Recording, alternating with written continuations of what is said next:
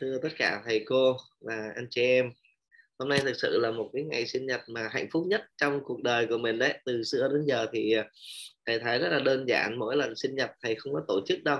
Vợ con mua một cái bánh ờ, kem nho nhỏ là chỉ có vợ chồng con cái ngồi quây quần bên nhau thôi. Thầy sống rất đơn giản, không có rình rang gì hết. Nhưng mà hôm nay là một cái đại tiệc sinh nhật Ờ, của thầy. Rất là nhiều anh em ở khắp mọi nơi trên thế giới cũng như ở Việt Nam. Một cái niềm hạnh phúc rất lớn uh, cho thầy. Uh, biết ơn tất cả mọi người. Thầy muốn nói rằng là um, dân mình còn nghèo lắm. Ừ. Chúng ta còn khổ rất là nhiều đúng không? Ừ, nhưng ở đâu đó nó có những sự bất công. Thì nhưng mà trong giai đoạn này á Ờ, thầy nhìn thấy cái ờ, cái bối cảnh của Việt Nam nữa mà.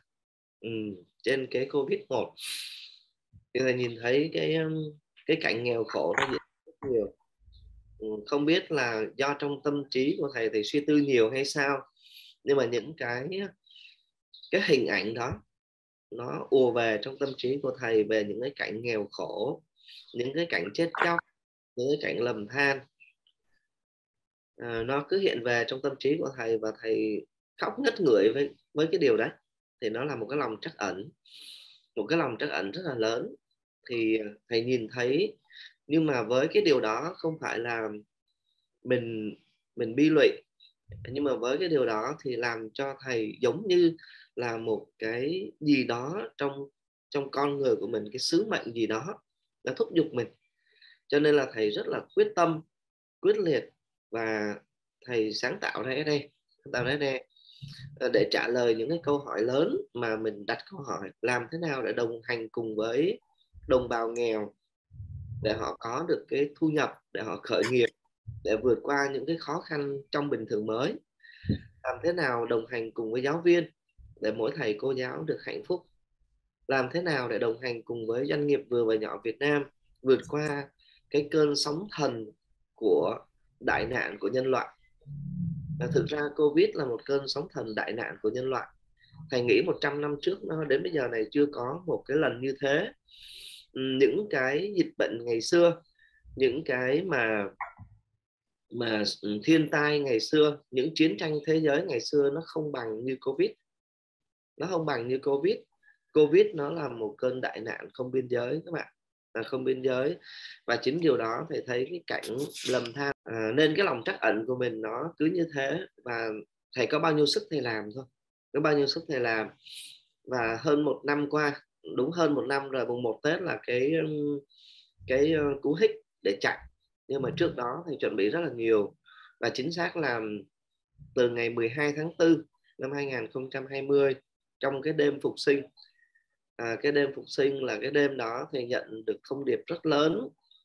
Và chính cái bài hát lúc mà thầy nghe cái bài hát vừa rồi của hàng phương á tại vì ngày xưa thầy đi tu mà nghe cái bài hát đó và chính lúc đó là mình được nhận được cái thông điệp một cái ơn rất lớn là phải làm ở đây à, thầy đặt tên cho nó là cái dự án tái sinh cái mô hình tái sinh tại vì cái ơn đó thầy được nhận ừ, từ cái đêm sinh đó và chính cái điều đó thầy nhìn thấy rất nhiều cái cơ hội mới, nhìn thấy rất nhiều cơ hội mới cho Việt Nam của chúng ta.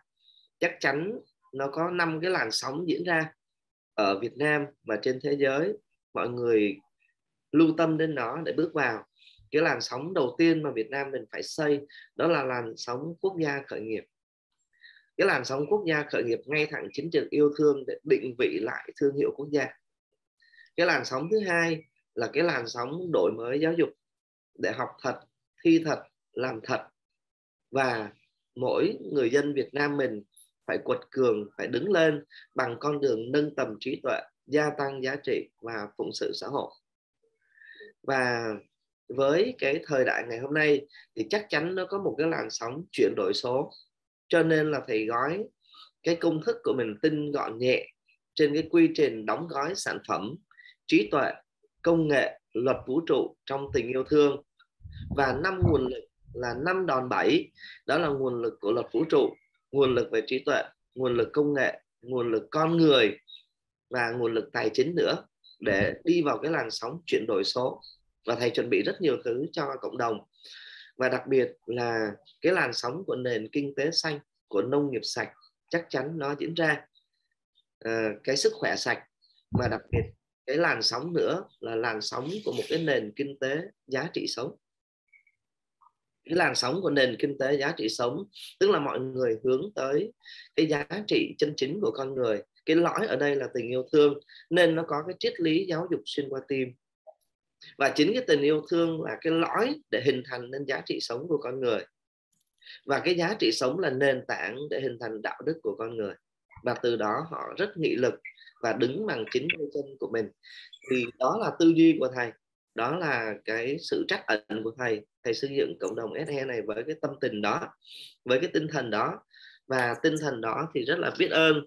Tất cả anh chị em đã đón nhận để chúng ta sẽ đóng góp vào cái tinh thần chung của đất nước. Người dân mình còn nghèo lắm, đất nước mình còn nghèo lắm, mình còn lạc hậu lắm. Nên chúng ta chỉ có con đường đứng lên bằng trí tuệ bằng nghị lực tự thân tự lực tự cường chứ không dựa dẫm được ai hết. Nên thầy vẫn muốn tất cả chúng ta trong cộng đồng uh, vượt qua nỗi sợ hãi chiến thắng chính mình con đường của mình đi nó mới. Thắng chính mình để chúng ta làm được một cái điều gì đó mà trong bài hát cũng thầy vẫn từng nghe đừng hỏi tổ quốc đã làm gì cho ta mà hãy hỏi ta sẽ làm gì cho tổ quốc mai sau.